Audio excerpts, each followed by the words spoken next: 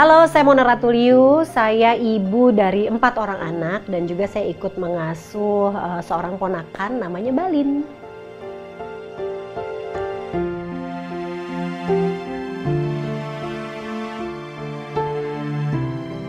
Balin tuh kan lahir prematur ya waktu kandungan ibunya masih 8 bulan, ibunya covid. Nah dua hari setelah melahirkan ibunya meninggal. Yang pertama kali terpikir di aku adalah, aduh Balin uh, dapat bisa dapat ASI nggak ya gitu. Sebenarnya misinya lebih kepada uh, Balin bisa dapat ASI. Kan setidaknya aku tantenya langsung kayaknya kok paling aman nih kalaupun pengen Balin pengen dapat setetes dua tetes ASI kayaknya paling aman dari aku gitu. Sebenarnya uh, pertama kali uh, yang aku curhatin Indra sih ya suamiku gitu. Aku pengen deh nyusuin Balin gitu. Eh ternyata dia menyambut dengan kaget karena dia punya kepikiran yang sama. Ya udah akhirnya karena e, paling utama sebenarnya suamiku mendukung suamiku mendukung langsung aku sampaikan ke papahnya Balin. Kemudian ketika papahnya Balin setuju mulai aku dan suamiku diskusi kayaknya kita mesti ngomong ya sama anak-anak. Punya bayi lagi tuh satu kehidupan baru lagi nih yang perlu kita jalanin gitu perlu penyesuaian diri lagi pastinya makanya kita kumpulin akhirnya anak-anak kita ajak ngobrol kalian keberatan nggak kalau Balin sementara di sini dulu gitu ternyata mereka uh, malah seneng banget waktu itu gitu.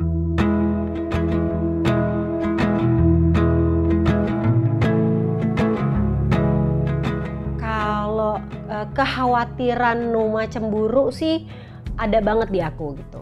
Karena waktu itu kan Numa masih nyusu, sementara aku harus nyusuin Balin.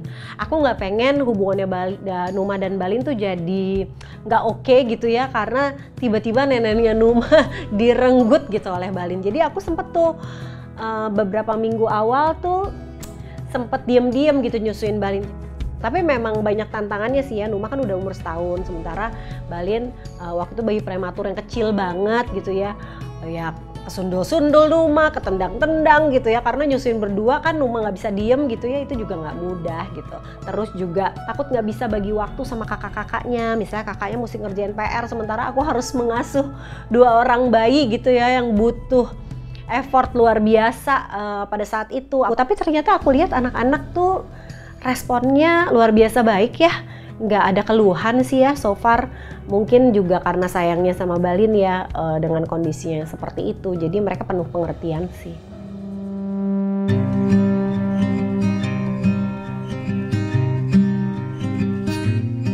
Uh, kalau kasih sayang sih uh, aku selalu memberikan sama ya. Misalnya Numa sama Balin berantem, aku juga nggak nggak nggak membeda-bedakan uh, kasih sayang dilimpahkan, kesabaran yang diberikan semuanya sama sih.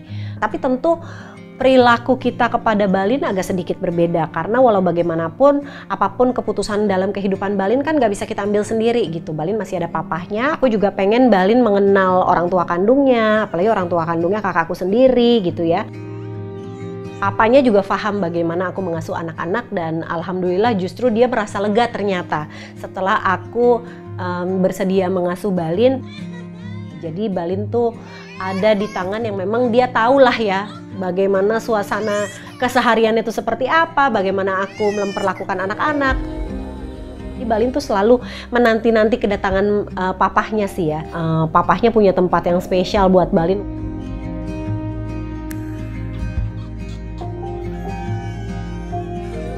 Oh setiap hari banget berantem. Balin tuh nggak butuh uh, mainan baru karena mainan yang dia pengen adalah mainan yang dipegang sama Numa. Jadi Numa pegang mainan itu dia maunya itu. Yang paling repot adalah kalau Numa lagi sama aku, Balin juga mau sama aku gitu. Padahal kalau Numa lagi nggak sama aku, Balin juga nggak nyari aku. Cuma ketika Numa mau nyusu misalnya, wah Balin juga mau ikut-ikutan sama aku. Yang paling susah itu sih ya nggak ada apa-apa pun kadang-kadang pukul-pukulan namanya juga cuma beda satu tahun. Cuma nggak masalah ya, uh, kita lama kelamaan terbiasa kok dengan dua anak ini. Cuma karena mungkin udah usia 41 juga, udah kebaca situasinya pasti gitu. Kalau capek sih pasti akan capek gitu ya. Cuma di usia seperti ini, apalagi anakku yang pertama juga udah umur 20, aku tahu persis gitu. Kalau masa-masa merepotkan ini tuh udah cuma sebentar banget yang nanti cuma bisa dikenang gitu dan ini kenangan paling manis loh saat anak-anak kecil balita lagi lucu-lucunya maunya sama kita terus nempel kayak perangko itu tuh ternyata dari sepanjang hidup dengan anak tuh masa-masa terindah gitu ya. Aku malah menikmati ya kerepotan-kerepotan bersama Numa dan Balin, rewelnya mereka, berantemnya mereka tuh betul-betul aku nikmatin karena aku tahu ini akan berlalu cepat banget.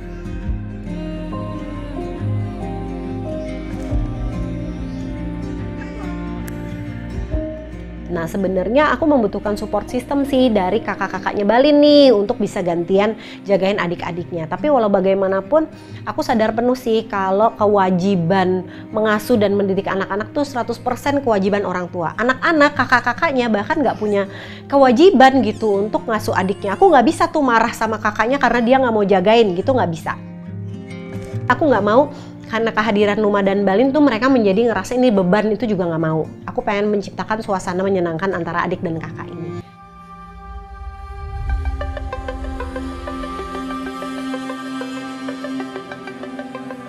Uh, nah ini Balin ini karena posisinya Balin adalah uh, kejutan ya buat kita semuanya.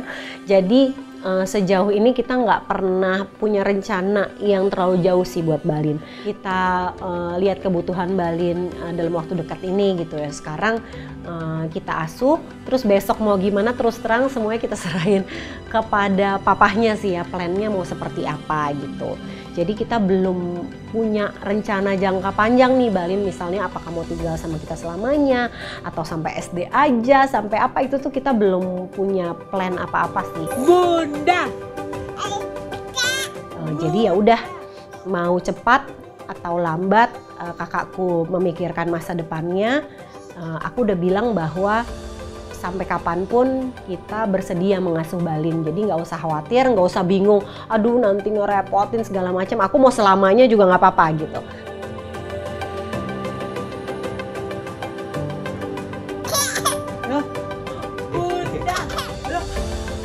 Memang jadi ibu tuh magical ya kalau aku bilang ya. Kalau orang bilang, oh jadi ibu tuh repot, emang iya sih. Repot, terus ribet, capek itu tuh betul-betul terjadi gitu ya di aku. Tapi entah kenapa di balik itu tuh banyak banget berkah banyak rezeki banyak pengalaman hidup yang sangat berharga. Perjuangan yang paling berat adalah perjuangan mengalahkan diri sendiri ya. Ego kita eh, bagaimana kita harus bersabar untuk anak-anak gitu ya yang mungkin kayaknya rasanya pengen marah tapi prioritasnya nih bukan mengeluarkan emosi nih, prioritasnya mengasuh dan mendidik anak-anak dengan baik gitu. Perjalanan panjang berjuang dengan diri sendiri ya pastinya. Terima kasih ya kata-kata yang paling indah kayaknya yang bisa aku persembahkan kepada diriku sendiri karena aku ngerasa luar biasa sih.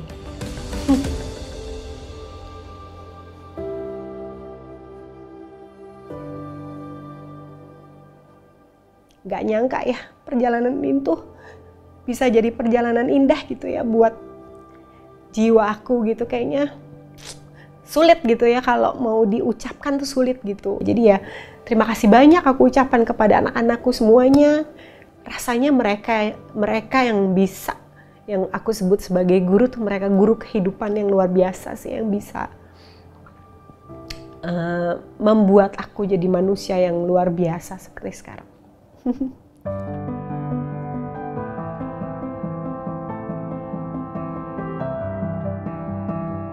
Suamiku tuh support system luar biasa sih. Dia juga pembelajar yang luar biasa gitu. Hmm, aku yakin nggak mudah ya. Aku pernah sampaikan sih ke dia bahwa aku tahu nggak mudah gitu buat kamu untuk bisa bersabar gitu menghadapi anak-anak, menghadapi aku gitu. Tapi dia mau terus berusaha. Itu sih yang bikin aku kayaknya kuat banget sekarang kayaknya itu ya. Aku nggak pernah ngerasa sendirian sih ngasuh dan didik anak-anak. Selalu ada indera, mau dia jauh, mau dia dekat, dia selalu uh, berusaha apa ya meluangkan waktu lah untuk support aku juga gitu ya sebagai ibu uh, mengasuh lima anak ini. Luar biasa sih. Indra sih ayah yang luar biasa, suami yang luar biasa. Sih aku mau ucapin terima kasih sekali buat Yanda uh, atas perannya selama ini nggak mudah pastinya untuk seorang ayah ya. Pokoknya dia uh, berusaha uh, menerobos norma-norma yang ada gimana caranya biar bisa dekat sama anak-anak. Itu sih buat aku luar biasa ya. Terima kasih sayang